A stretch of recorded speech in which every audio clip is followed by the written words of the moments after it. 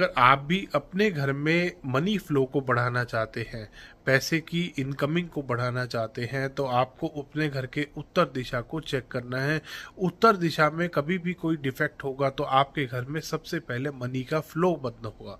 अगर उत्तर दिशा में कोई भी आपके वास्तु दोष बन रहा है या क्लटर आ रहा है, उसकी वजह से भी बहुत बार मनी में प्रॉब्लम आती है।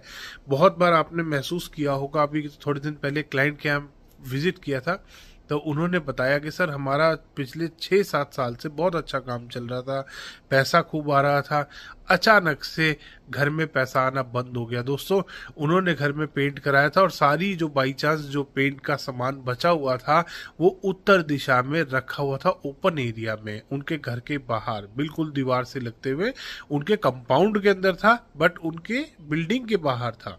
इंडिपेंडेंट हाउस था तो वहाँ से जैसे ही उन्होंने सामान